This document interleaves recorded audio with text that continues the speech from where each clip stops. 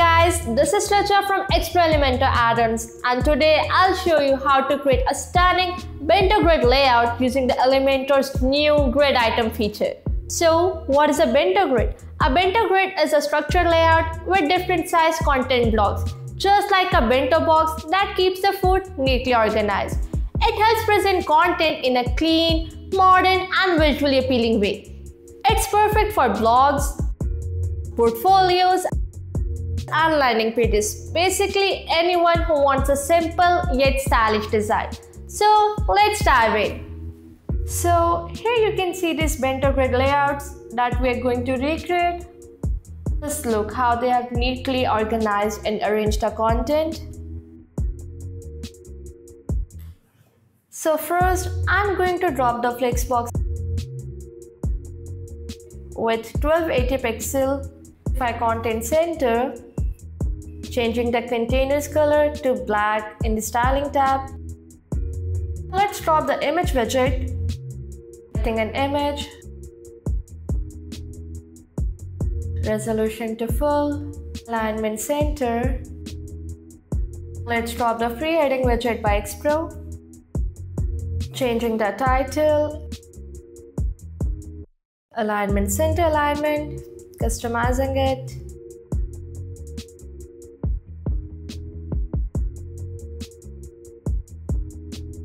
Next, the grid container. I want to have two dimensions and it is possible with grid container only. If you want to learn more about Flexbox and grid container and their difference, we have a video on that. Make sure to watch that. I only need two columns, so decreasing the columns to two.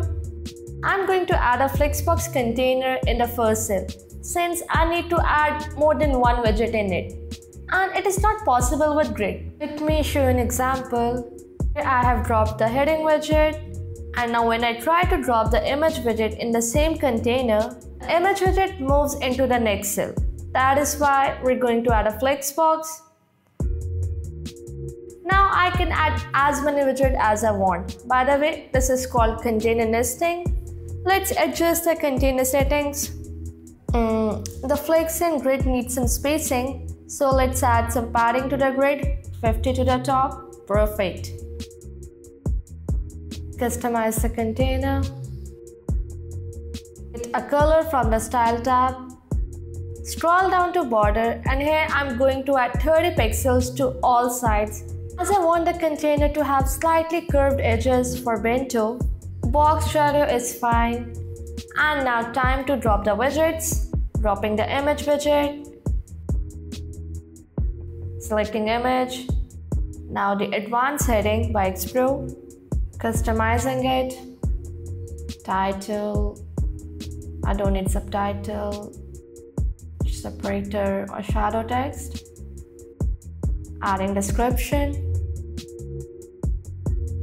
And now time for styling alignment left let's quickly get this done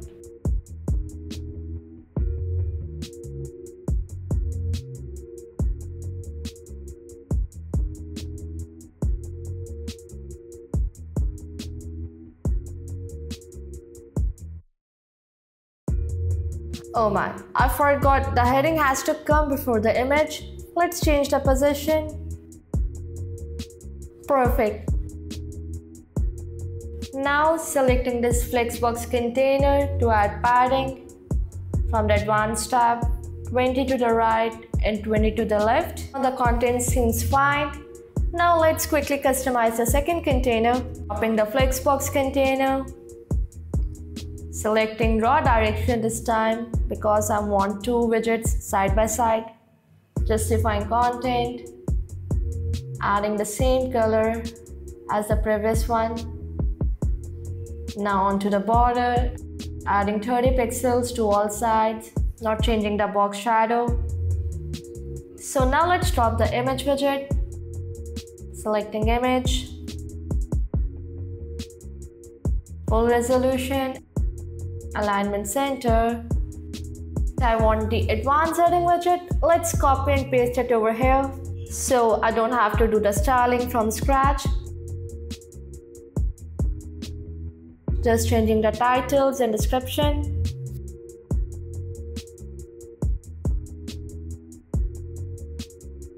Adding padding to the container. So the third cell will have the same settings. So copying this container, pasting it, changing the image and text,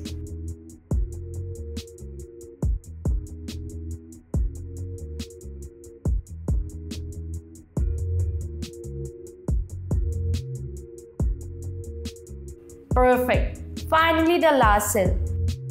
Cropping the container, customizing it.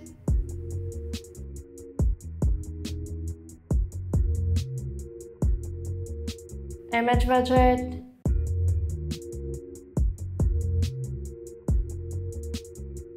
Copying and pasting the advanced setting. Changing it.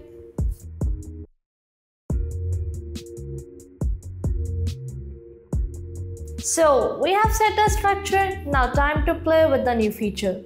Select on the Flexbox. In the Advanced tab, you will see the grid item options. You can increase the column and row span however you like. I'm setting the column to 1 and row span to 2. Now it takes 2 column space. See how the other cells adjust automatically? Don't worry if it looks a bit off.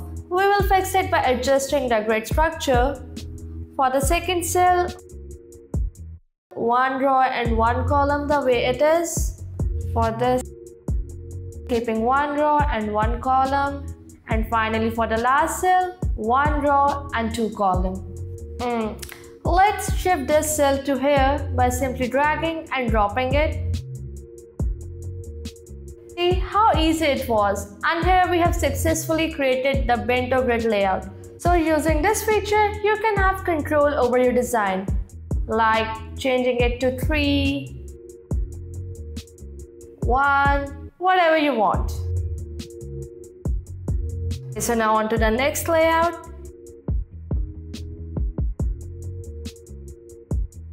It is already made. The grid has four columns and one row as you can see over here. Next the containers, added 20 paddings to all sides. In the border, added 30 pixels to all sides as I did above. Used advanced heading, title, subtitle, and images. Next, let's play around with the grid items. For the first two containers, column 1 and row 1, And for the third column, column 1 or 2, oh sorry, I selected 1, changing it to 2. And for the last container, column 2 and row 1. And it's shifted over here. Now you might be confused of why we have this extra space or gap. Well, if you remember, we had set the columns to 4 in the grid. So since this container shifted here, grid automatically leaves a space for the fourth column. And here you can see this container taking 2 column space. So what I'm going to do is just change the columns to 3. And there you go, the extra container is deleted. Got the structure we wanted. So yeah, with the grid item options, you might have to play around with this column and row options Finally, the third layout using the same techniques which we used above, a grid with row and columns, used flexbox, added paddings to the left and right, added image in the container background. We're soon releasing a video on how to add image in the container background. If you want to learn more about it, make sure to subscribe to our channel and turn on the notification bell. On to the grid item, setting the column to 1 and row to 5 and here it has taken 5 row space.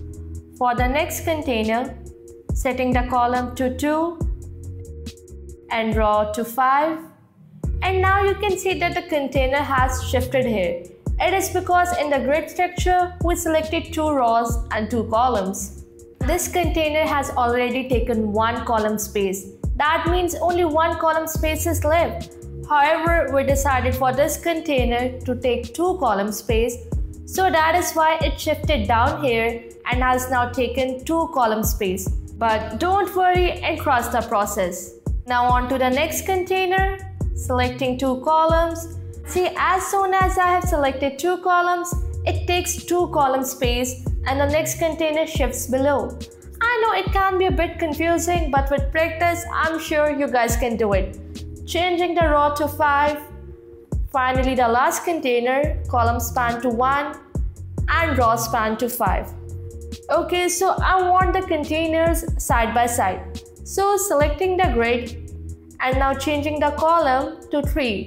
And just like that, the containers are back to their position. The first container taking two columns and the second container taking one column space. So that's it.